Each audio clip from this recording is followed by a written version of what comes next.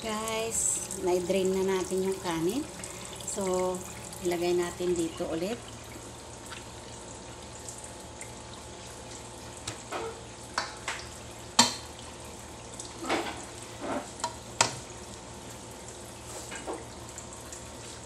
Ayan.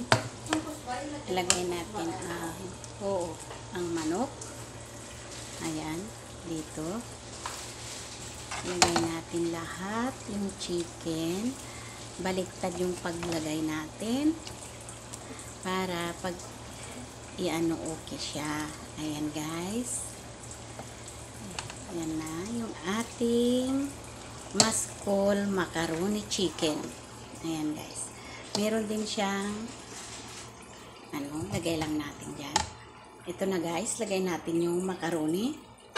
Ayan. Lahat ng ingredients nandyan guys. Uh, macaroni, maskol, chicken, yan, macaroni maskol. Ayan. Ayan guys.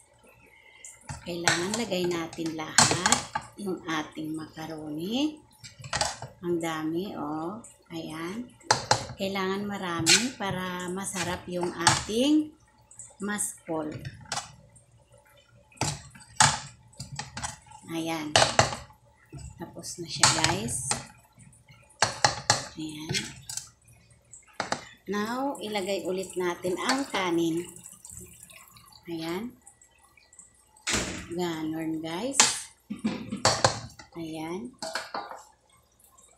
Ganyan ang tinatawag na maskol. Ayan. Maskol macaroni with chicken.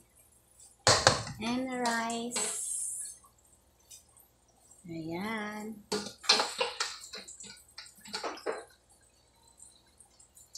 Ayan guys. Ito na siya. Ang ating maskol.